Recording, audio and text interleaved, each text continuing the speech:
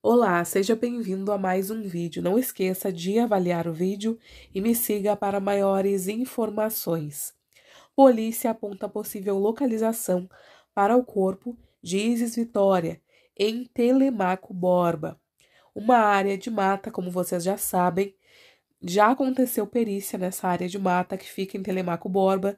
Tudo isso porque a polícia já sabe que após aquele encontro entre Marcos Wagner e a Isis, a Isis Vitória Mizerski, em Tibagi, ele teria feito um percurso até Telemaco Borba. Ele teria feito um percurso de cerca de 40 quilômetros na ida e mais a volta. Então, ele levou cerca de uma hora, 50 minutos a uma hora para fazer esse percurso. E a polícia acredita que ele possa ter assassinado a Isis e ter deixado o corpo naquele local, naquela região, em Telemaco Borba. E o que acontece?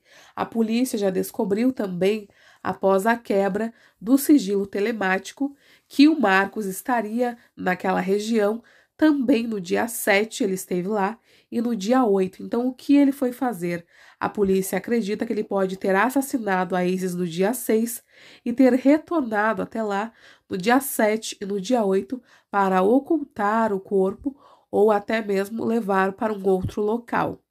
Até o momento nada foi encontrado, mas com o passar dos dias a gente sabe que se torna mais difícil, existem menos chances cada vez menos chances de encontrar a Isis Vitória com vida e como ela estaria sendo mantida em um cativeiro, sendo que agora ele está preso. Então, outra pessoa teria que ficar responsável pela Isis. É muito estranho. Essa é uma hipótese bem remota, bem pouco provável, infelizmente. A própria família já chegou a declarar em entrevista que, aos olhos do homem, seria impossível realmente encontrar a Isis com vida, mas eles ainda têm esperança por conta que Deus pode aí operar um milagre e a Isis então ser encontrada com vida, é claro que seria o que todos nós desejamos que ela fosse encontrada bem com vida, mas é realmente muito difícil. A polícia deve ouvir também o Marcos Wagner hoje, que é o homem que esteve com ela por último. Ele é o único suspeito, apesar do ex-namorado dela ter sido investigado. Não tem nada que ligue ele à cena do desaparecimento, possível homicídio da Isis. Então, por enquanto, o Marcos Wagner é o único suspeito que já está preso. Ele se entregou ontem à polícia. Como vocês já sabem, já tem um vídeo aqui falando sobre isso. E agora, como ele vai ser ouvido novamente, ele pode confessar ou não. Talvez ele continue negando, porque ele acha que engana a polícia, que engana a população, que engana a família também da Isis com essas histórias sem pé e nem cabeça que ele conta, como aquela história da amiga que ele não sabe nem o nome.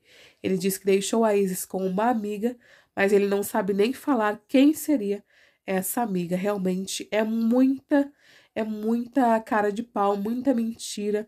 Não dá para acreditar em uma palavra do que esse homem fala.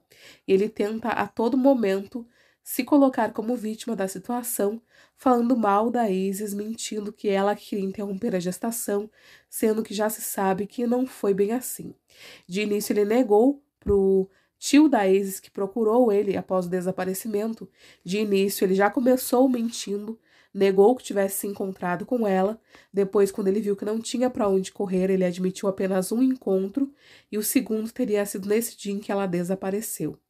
Então agora resta ele confessar, acredito que após tantas evidências, ele não vai sair da prisão tão cedo e com o tempo, com o passar do tempo, quando ele ver que o cerco se fechou, que não tem o que ele faça, não tem história que ele invente que vai convencer a polícia, ele então possa vir a confessar. Mas eu acredito que nesse primeiro momento ele vai continuar mentindo, insistindo nessa história de amiga e não vai confessar o que realmente ele fez com a Isis e com o filho que ela esperava. Finalizando o vídeo por aqui, obrigado se você assistiu até o fim. Não esquece de compartilhar com alguém e de deixar também o um comentário com a sua opinião. Tchau, tchau e até a próxima.